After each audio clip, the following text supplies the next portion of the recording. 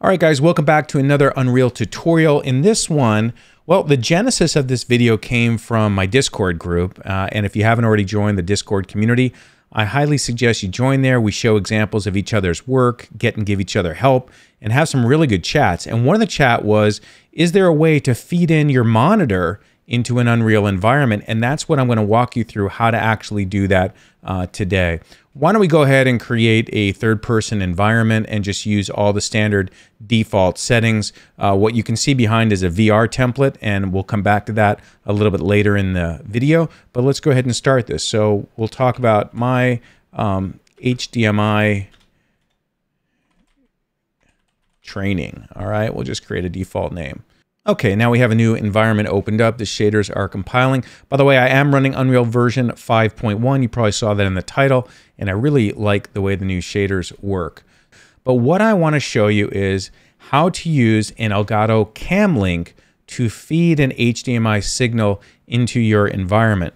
Now, before I start creating anything in this environment and show you how to do the integration, let me just explain the concept. Uh, world's most powerful graphics tool, Microsoft Paint. Um, what I want to show you is I have an Elgato Cam Link. Imagine you have one as well if you're watching this video. And there's maybe three different use cases for it where I can actually take an HDMI signal and put it in my Unreal environment. I'm going to show you later on how to do that in a VR environment uh, with my MetaQuest goggles, but I'm going to start off by explaining this from a 2D, just a standard Unreal environment. So use case number one is my current NVIDIA card, which I actually have a 3080, I'll be installing a 4090 this week in a brand new PC build, but I've got a 3080 currently, and I've just taken the HDMI cable coming out of it and rerouted it back through an Elgato Cam Link. Now, why did I do that? Because I'm feeding in the signal of my second monitor, which you'll see. But I could also, in this use case, using again an HDMI cable, I could feed in a signal from another computer, an iPad with an HDMI cable, an iPhone with an HDMI cable, of course, uh, you know, another PC. So in terms of content, you could be streaming something from the internet. You could be doing this for virtual production, right? Let's say you've got a corporate event and you build a 3D environment for that and you want to put a wall inside the environment and feed that coming from the web uh, from any type of device. You could do that.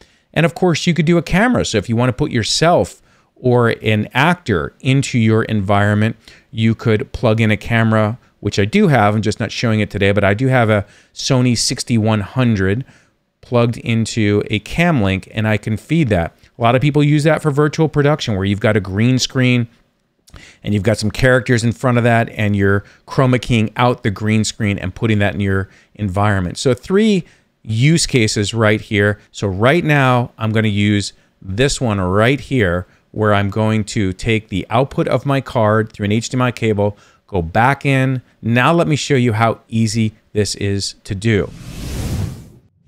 All right, now that we've got this environment, let's start off by creating a, uh, a new folder over here. And we'll just call the new folder um, HDMI sources. All right for lack of a better name. And in this folder, I'm going to right click and I'm going to go to media and I'm going to add the media player. So now we've got this media player object ready to get created. You do want to check this box, video output media texture asset. That doesn't really make sense if you read it. So let me explain what that is. It's basically saying when I click OK, also make a texture for the media player. Epic, you should probably update that dialog box. Now I've created that, you'll see as I give it a name, we'll just call this the cam link. As soon as I hit enter, there's our texture. Okay, so we've got the texture. Now let's make a plane for our environment. We'll just, just go up to the uh, menu right here with the little box and the plus, which is where we can get to all of our different asset types. And we will go to shapes and create a plane. Now you will see that you need to rotate these planes. It's really interesting that they don't come in rotated the right way. Um, don't forget your shortcuts are up here. I have a Logitech 502 mouse, so I've put keystrokes on my uh, buttons basically to change these. So it's the same thing as me clicking here, here, and here, except I use my mouse buttons, which I find is a lot faster. I won't um, do two axis rotation. I'll just do one for right now. Let's see how it comes in. And now I've got this plane that I'm going to put my desktop on. And let's pull that a little bit forward and just have it floating in space. All right. Now, double click on the media player, the one that I named Camlink, and you'll find that if you have movies in this folder, this is how you would specify a movie you want to play on that texture. But check it out. And I show this in an earlier video of mine on the channel, but I never explain what these little gems are here for. But now you get to see that under here, we've got video and I can see all of my different inputs uh, and I'm going to grab the cam link. It sees the cam link plugged into my computer, and voila, there's my second monitor. So again, I've have an HDMI cable coming out of my graphics card. It's plugged into the Elgato Cam Link, which is plugged into a USB port. And now when I hit save, I'm feeding my second monitor. I actually have three monitors, so I literally could have two different cam links and put two different. Now, this screen, I just have Microsoft Word on, but think about it. I could have a browser open and I could be streaming content in here for doing some cool show and tell.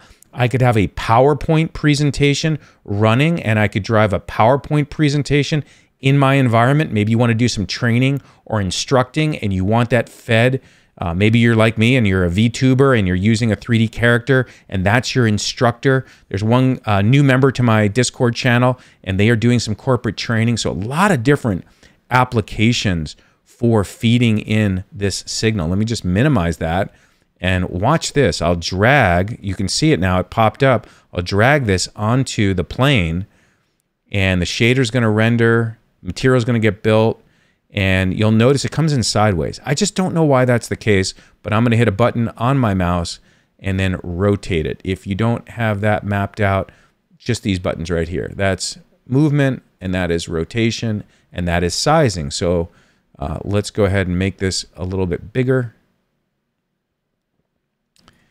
And well, let's uh, appropriately scale it to the monitor.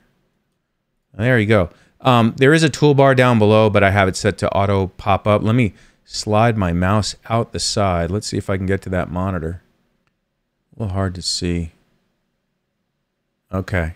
So I, I'm, I'm sliding my mouse out of my Unreal environment over to my second monitor.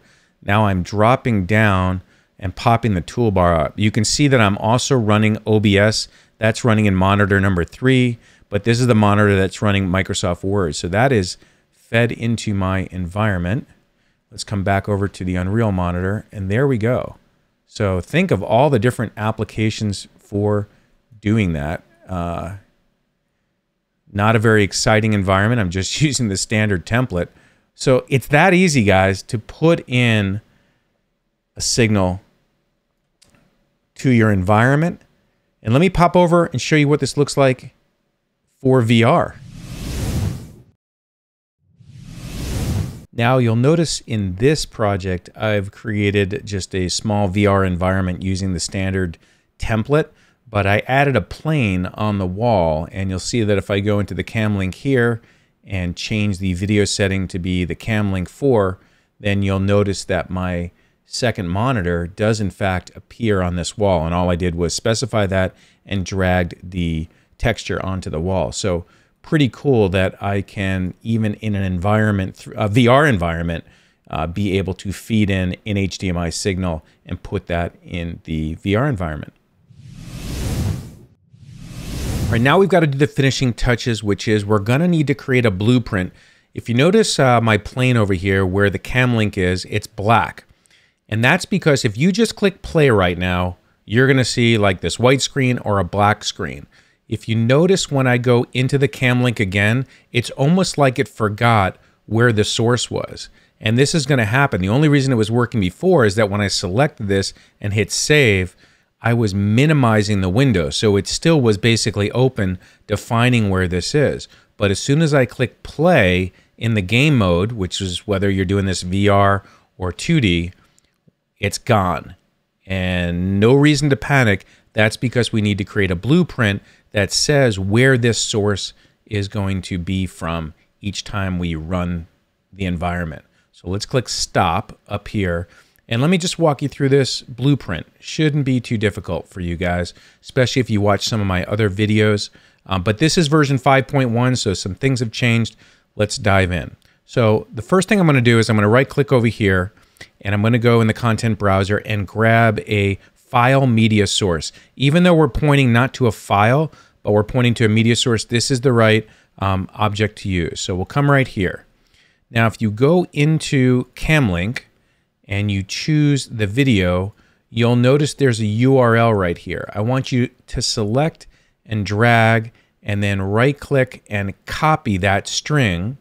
Go ahead and click save and close the window because then in this new media file source, we're going to put that in the file path. Again, it's not a file per se, but it is the path to where that is. And now we will click save there. And so now we have an asset that is serving as a container for where the path is. Now that we've done that, we can go and create our blueprint. So I'm going to come up here and choose to open the level blueprint. Pretty much blank. Let's make it, in this case, I mean, you could bind this to a key on your keyboard. You could actually bind this to a button on your Stream Deck if you have an Elgato Stream Deck. And I will link to the video where I made how to integrate your Stream Deck with your Unreal environment because that's a really cool way to launch things in your environment. But in this case, I'm just going to do it when the level starts. So I'll right click right here and do event begin. And you want to grab the event begin play node. That means start this when the level starts. Now we need to make some variables. So let me click plus over here on the variable side and we'll type media player. And the reason we're typing media player is I've got to specify Camlink over here as the media player that I want to use. Now we don't want Boolean, that's like true false. So hit the drop down and type the word media and maybe hit player as well. So media player. And you'll see right here under object types, there's media player. Choose that. Now, whenever you, I've shown this in other videos, whenever you um, specify a new variable, you can't put anything in there until you click on compile. And now I can specify the media player. To do that, I'll hit this drop down and I'll choose the cam link. So it knows all about the media players that I have inside the project and I'll click compile and save again. Now we need to open this source. So I'm going to right click here and I'm going to choose to open media or is it open source? Ah, great learning opportunity. You see this little checkbox right here? Context sensitive. That always throws me. I'm going to uncheck that and that shows you more. So media player open source. I wonder, remember I was saying open media player. Let's see if that would have worked. Mm, nope. To open source. That's the right way to do it. Under media player, grab that. Now we've got the right node there. Let's attach the event begin play to open source. Now we need to plug into the target right here what media player we're talking about. So pull out the media player from the left hand side choose get media player because we're feeding that information into the source. We're not setting the value, we're getting the value. And so I just click that and drag it into the target. And then this little drop down menu right here, choose the new file media source. That was, if you look over here, that's where we put in the URL to the cam link. All right. So that's why we have that there. And now if we click compile, and save. I think we're good to go. Let's see. So I'm going to close this window. I'm going to click on play. Darn it. All right, we're going to we're going to fix something else. This is the real world, baby. This is what happens to all of us developers. A little trial and error. I could have cut this out of the video and made it look like I did everything perfect, but let's let's troubleshoot this together. Okay, so this is Dave from the future. I actually had to turn off recording for about 20 minutes, and there is change to the workflow, but I figured it out. That's the good news. I figured it out, and I hope you guys are watching this video all the way through. Um, notice when I click play, as you saw before, my monitor is not showing up here. And I thought it would be enough to have this new file media source pointing to the cam link, but that was incorrect. Would have been fine if it was a file, but it's not a file. So what I figured out is go to the cam link and choose the video right here. When this comes up over here on the left, the media source, there's a little icon for saving the playlist. Click on that icon and that will give you a chance to create a new object called a uh, media source, stream media source. I'm going to call this cam link source and click save. And then it's also asking me to save the other asset, which is the playlist, because you can have multiple objects, but we're only using one. So I'll call this the cam link playlist and click save. And so it's added these two additional elements uh, in the list. I'm going to click save, click close on this window, and I'm going to go back to the blueprint just to double check. And inside the blueprint, notice says media source, select asset, and that's because I've changed things around. Choose the stream media source, whatever you called it, choose the one called stream media source, click compile, click save, and now let's cross our fingers again, click play, there we are. And now we have the monitor in the window. I'm going to hit Alt Tab, push my mouse over to the second window, drop down to the taskbar, and you can see that I am running in the game environment with my monitor working. I wonder if I can just try to get my mouse. I can't see the monitor. Uh, there, I'm using Microsoft Word. This is my second monitor. So you know this is happening in real time. I'm glad, you know, I'm, I'm glad I showed you guys uh, that nobody's perfect and we have to figure this stuff out. Things change between 5.0 and 5.1, different versions. So the trick was not using this new file source right here, uh, as I said earlier, but it was to actually come into the cam link, choose the cam link, and click over here, save to create a streaming media source property. And that solved it. Hope you guys enjoyed the video. Hope you learned something. I think it was maybe nice for us to figure out that nobody's perfect and this thing, uh, you know, figuring out the stuff. Like I always say, none of us are smarter than all of us. And I'm glad you guys were patient, watched the video all the way through. And I would love to hear in the comments, like, do you think this this use case of feeding video into your environments, something you're going to do with it, something you're not? Let me know. We'll catch you guys on the next episode.